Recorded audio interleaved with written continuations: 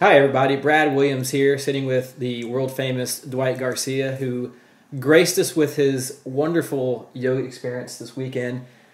Uh, Dwight, tonight's your last night in Virginia. Yeah, it is. I'm real sad about that. I've had a really good time teaching here in these great three studios. I want to thank so much my hosts, Brad and Betsy from Peace, Love, and Balance, and Ann Richardson from um, Studio Bamboo. And also thanks to the staff at the Space Above for hosting me and doing such a great job and welcoming me and Urban Vinyasa in the Virginia Beach area. Uh, I hope to be back really soon and continue to grow and share everything with you, all my travels and everything I've learned. Thank you guys so much for everything. Now, Dwight, from a personal experience, this was a very liberating uh, weekend as far as my yoga practice is concerned, and it seems that the feedback has been very positive and it's God, it, I hope so.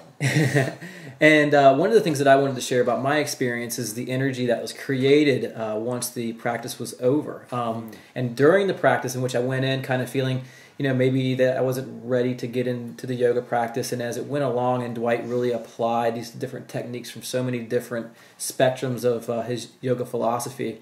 Uh, later on, I was able to feel uh, after the practice was over more, you know, rejuvenated, fresh yeah. uh, ready to go out and hang out all night if I need to.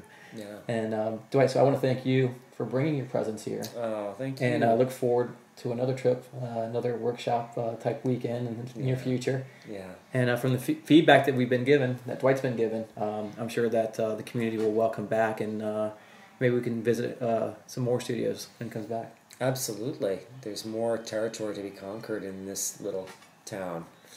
I only feel like I just started to touch upon it. Now, Dwight, one last question before we let uh, let you go. Um, yeah.